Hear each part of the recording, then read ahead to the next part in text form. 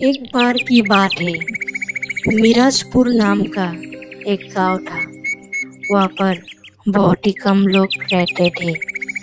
उन लोगों के, गाँव के लोग हमेशा कहते थे कि उन लोगों की गाँव की जो जंगल है, वो बहुत ही साफी थे। एक बार जो जंगल में जाता था, वो कभी भी ज़िंदा वापस नहीं लौटता था। इसलिए सब लोग जंगल में जाने से डरते थे। असल में उन लोगों की जंगल में एक सुरेल थी। एक दिन राजू नाम का एक लड़का रात को उन लोगों की गाँव के बस स्टॉप में बस से उतरा था। कोई ना दिखने की वजह से वो गाँव की तरफ़ चल पड़ा और जाते जाते उसे वो जंगल नज़र आया और वहाँ पर वो सुरेल से उसका सामना हो गया। सुरेल को देखकर राजू का तो पसीना ही छूट गया। वो बोला, कौन हो तुम? तब सुरेल बोला, मैं आज तुमको नहीं छोड़ूँगा। तब राजू उसको बोल रहा था कि, मुझे छोड़ दो प्लीज़ प्लीज़ मुझे जाने दो यहाँ से। तब सुरेल बोला, तुम्हें मेरा एक काम करना पड़ेगा। तब राजू बोला, क्या काम? तब सुरेल बोला, सुनो आज से दो साल पहले मैं भी ज़िंदा था। और मेरा पति हमेशा मुझे दहेज के कारण मारता था।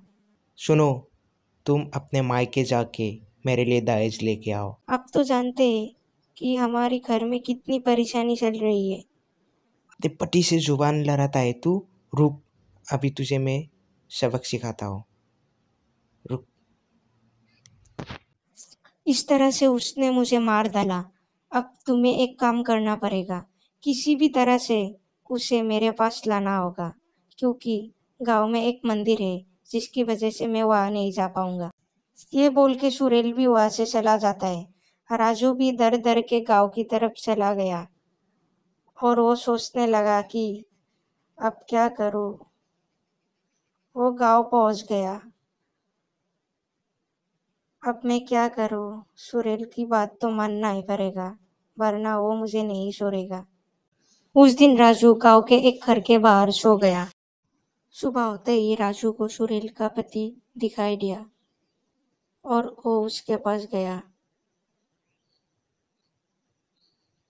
वो सुरेल की पति को बुलाया और कहने लगा कि जंगल में एक पैसे का बैग है, चलो लेके आते हैं।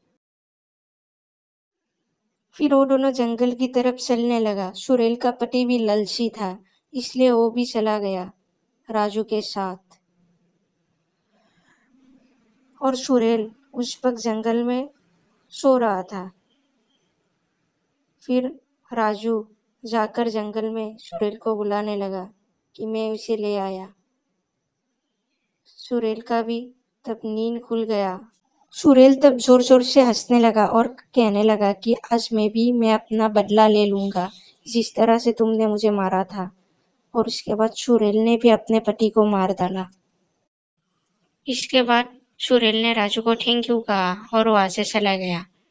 राजू भी अपने घर की तरफ़ चला गया। इस तरह से राजू ने सुरेल की मदद की। इस तरह की और वीडियो के लिए हमारे चैनल को लाइक, सब्सक्राइब और वीडियो को शेयर कर दीजिए।